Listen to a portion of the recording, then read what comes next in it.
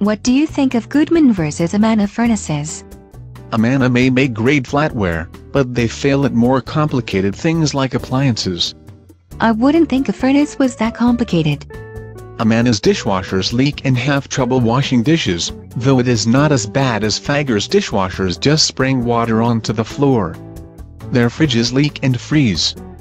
Fridges should freeze. The drain in the freezer does not drain right, so melt from the defroster freezes until it builds up and melts and flows onto your floor. So they do not make good cold appliances. How would you rate their furnaces? Their furnaces get almost as many good reviews as bad reviews.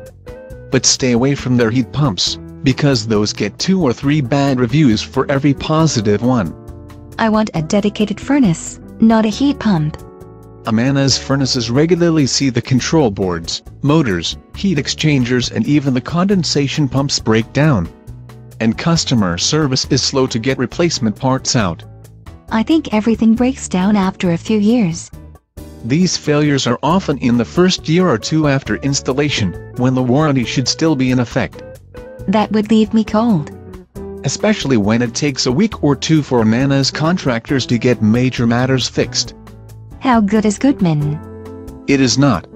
It is not what? Goodman is not any good. I'd almost say get an Amana furnace over a Goodman. You said they regularly break down and have costly repairs. So does Goodman, but their service is even worse. And their warranty is so limited it might as well be non-existent. How would you rate a Amana's warranty? For parts, it is pretty good, though not as good as Trane's. It does not cover labor, even under warranty. But you are still implying it is better than Goodman.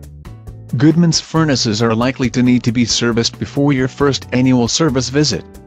Get something else, almost anything else,